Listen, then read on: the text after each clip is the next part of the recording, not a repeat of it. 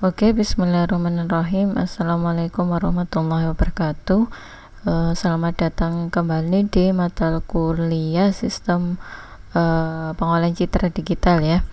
Uh, untuk materi kali ini saya ingin membahas uh, filter ya, seperti dalam penjelasan teori yang sudah saya sampaikan.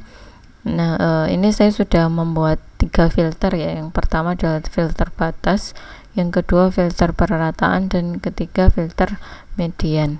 Nah di sini mungkin saya langsung jelaskan ya. Ini bagian yang pertama itu adalah uh, membaca ya imrit uh, apa namanya uh, picture atau gambar yang akan kita buka.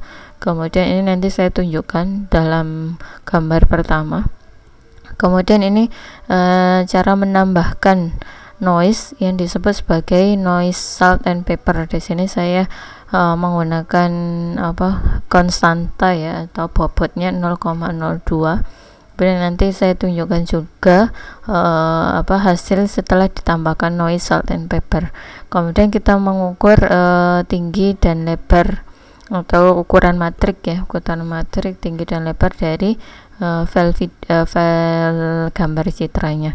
Kemudian untuk konsep filter batas kemarin uh, tadi sudah saya jelaskan ya bahwa kita mencari nilai maksimum dan nilai minimum dari citra citra uji ya. Nah di sini ada tiga ada 9 ya 1 2 3 4 5 6 7 8 1 1 ini bisa kita hitung 1 2 3 4 5 6 7 8 ada 8 pixel tetangga yang kita lihat ya nilai maksimum atau minimumnya berapa.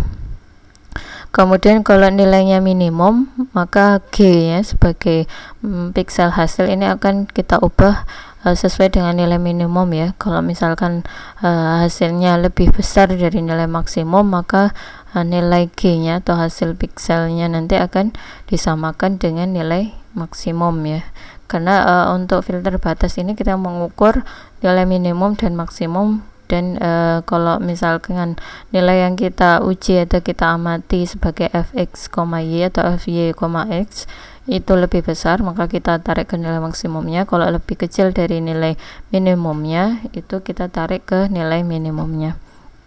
Nah e, seperti itu dari filter batas. Mungkin kita run dulu ya coba kita run dulu untuk filter batas.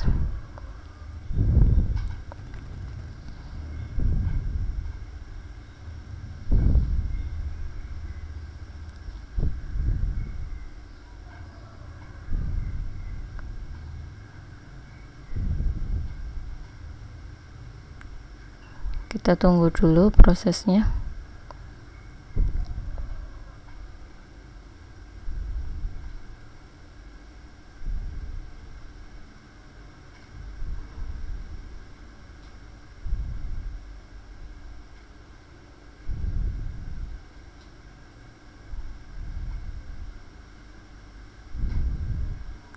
Nah, ini adalah gambar picture asli ya. Kemudian ini setelah saya tambahkan noise noise salt and pepper tadi dan kita tunggu hasilnya ya setelah difilter gambarnya kan seperti apa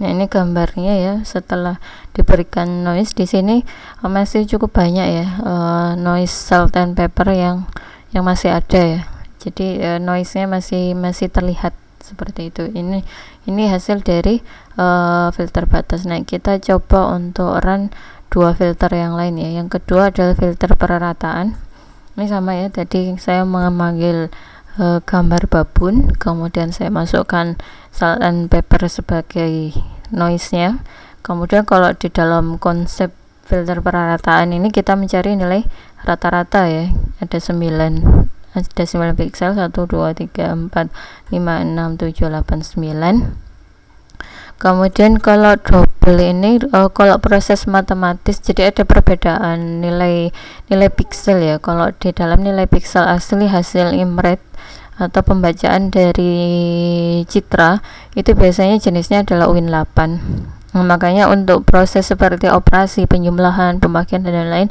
kita perlu merubah dulu ke dalam jenisnya namanya double dan setelah nanti uh, selesai proses dari apa operasinya dan kita balikkan lagi ke win 8 ya. Win 8 di sini maksudnya itu ya intensitas antara 0 sampai 255 kemudian coba nanti kita lihat ya hasil apa namanya hasil dari filter perarataan kitaran ya.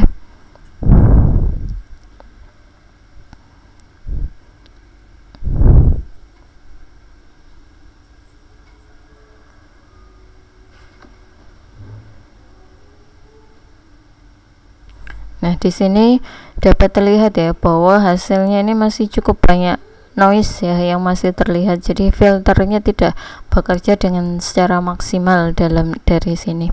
Nah, ini adalah output dari filter perarataan nah, kita coba untuk filter yang terakhir ya filter median.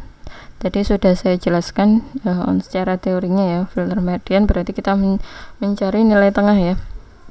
Dari 9 nilai yang ada 1 2 3 4 5 6 7 8 9 ya kemudian kita urutkan tadi mulai dari angkanya e, paling kecil sampai paling besar. Kemudian kita ambil nilai tengahnya ya di sini.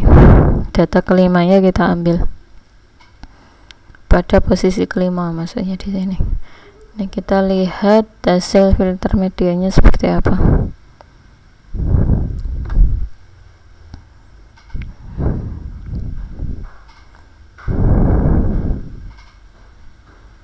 nah ini hasil dari filter median ya cukup bersih ya.